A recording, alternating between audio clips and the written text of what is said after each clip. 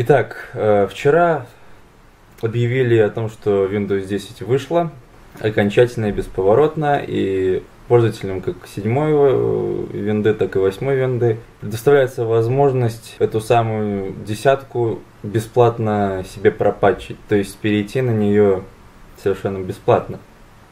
Суть в том, что Windows 10 позиционируется как операционная система для различных видов устройств. Это и смартфоны, и компьютеры, и, не знаю, микроволновки, что ли, наверное, какая-то шутка.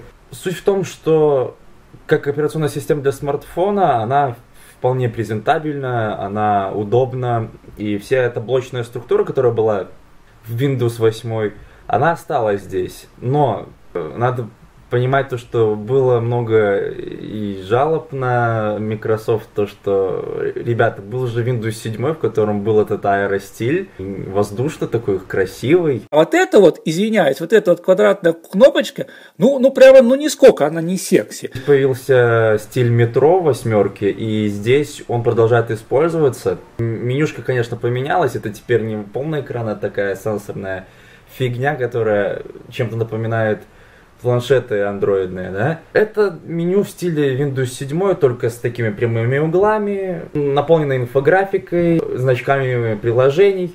Мне кажется, что это просто модно. Это было модно раньше делать что-то в стиле Windows XP. Было модно делать, я помню очень много, был просто бум, когда вышла Windows 7, делать разные стилизованные для Windows XP менюшки, Windows бары, вот стилизованные под этот воздушный стиль. Сейчас этот стиль метро тоже очень будет популярен. Что будет через 10 лет? Скорее всего, придет на смену какой-то вообще другой стиль. Может, мы будем только общаться посредством этого самого голосового помощника Картаны. А, да, Картана. Интересное, конечно, название, может, потому что картавит, но там девушка не картавит, кстати. Смешная шутка. На самом деле, Windows 10, она приятная. Здесь много зеленого. У них новый браузер. Это понятно. Microsoft много потерпели неудач. Связано это с тем, что у них этот Explorer был, у них была нестабильная Vista, была семерка, которая была нормальной по сравнению с той же Vista. Все равно XP была самая стабильная, но семерка, тем не менее, была восьмерка не пропаченная. Был, слава богу, патч. И на восьмерке можно было работать. Но на восьмерке были такие проблемы, как, допустим, нужно было за системой регулярно подчищать. Она очень любила качать обновления. Если у вас была ну, лицензионная винда 8, вам нужно было проходить геморройную, геморройный этап активации. В принципе, как с любой виндой, но на восьмерке без патча отключить эти самые обновления было просто нереально. Это было жутко, это было огромное трата места на жестком диске. Windows 10 вроде как должна работать без этого. То есть обновления должны быть, но должен быть сразу же включен флажок. Либо да, либо нет. Картана чем-то напоминает айфоновскую, iOS-овскую, точнее, Siri.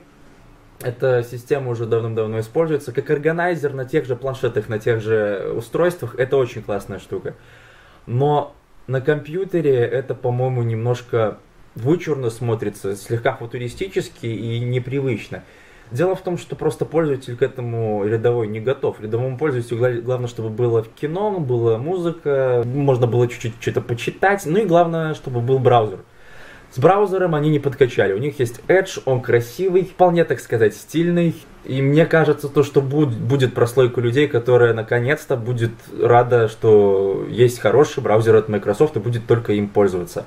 Если Edge, конечно, себя с хорошей стороны проявит, потому что это еще все-таки подвешенный какой-то проект, только появилась винда, и спросить-то толком не у кого. Я же э, переходить на Windows 10 не собираюсь, я не переходил на Windows 8, я только работал ну, у меня была возможность поработать в Windows 8 у некоторых людей, и если честно, то двух-трех часов этой возни мне изрядно хватало. Мой отец тоже не был в восторге как-то на, на Windows 7 сидим, и, и, и все нормально. Главное, чтобы новый Windows не жрала ресурсы. Если она будет жрать ресурсы, будет тоже очень некомфортно. Она должна быть такой лояльной, как и семерка, в принципе. Дизайн, я же говорю, много инфографических элементов. Это нормально. Сейчас это модно. Модно иметь много разных фич, которые позволяют потребителю просто не отвлекаться.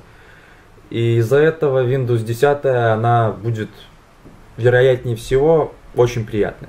В отличие от Macintosh, Windows 10 не фокусируется на том, что вы будете запускать здесь массивные студии и работать с видео. Нет, все-таки Windows 10, она, она такая, она представляет собой ядро для того, чтобы можно было запускать что-то на планшете, запускать что-то на своем в Windows фоне, запускать что-то на компе, и чтобы было удобно все это синхронизировать. Если синхронизация удастся, это будет очень хорошая, непробиваемая вещь. То есть посредством одной операционной системы, одного э, активационного ключа вы можете синхронизироваться со всеми вашими устройствами. Это же здорово.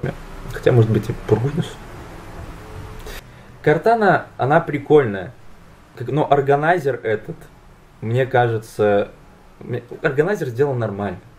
Картана сделана нормально. Я, я даже скажу хорошо. Но дело в том, что Microsoft себе изрядно подпортила репутацию. Я уже говорил, Explorer и так далее.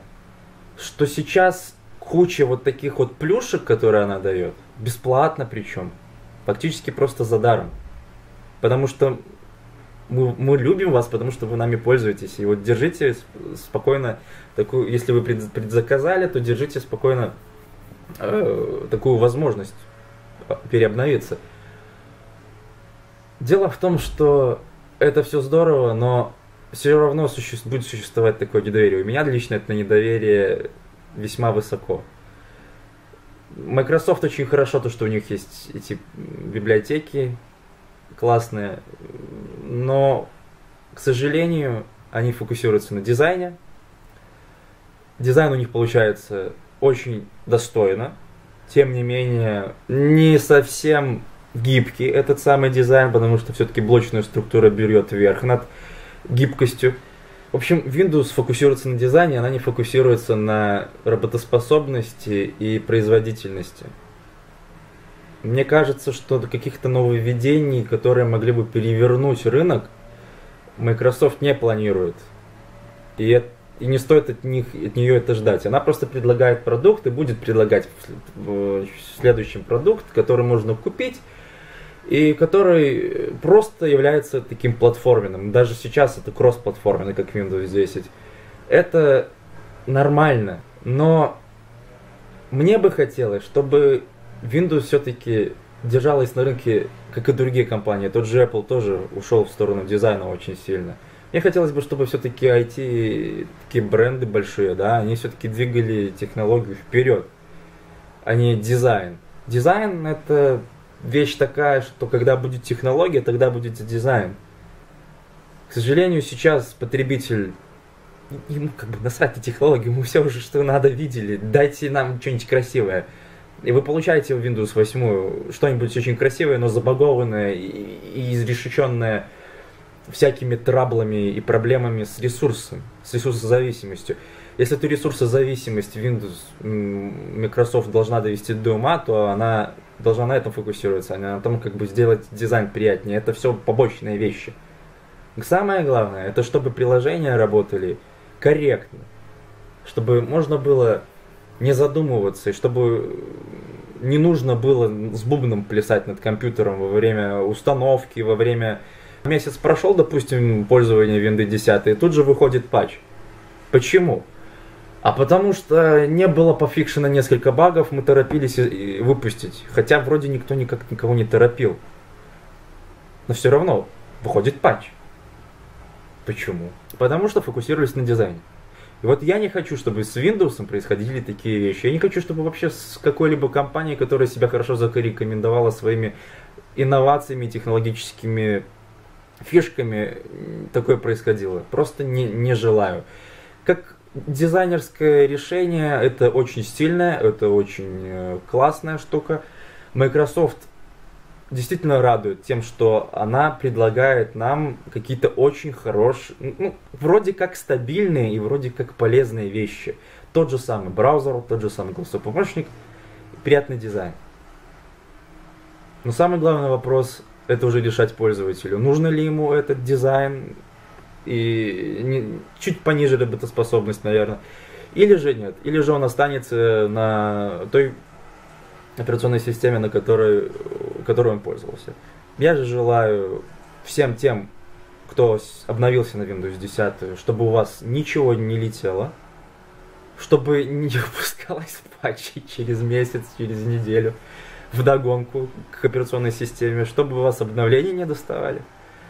И чтобы жесткое, и чтобы место на жестком диске у вас всегда было. А тем, кто не собирается переходить на Windows 10, я вас тоже все прекрасно понимаю, я сам такой. Вот. Я вам то, тоже желаю удачи и желаю, чтобы мы с вами оказались неправы. Что, чтобы Windows 10 наконец-то стала классикой, как и Windows 7. На этом все.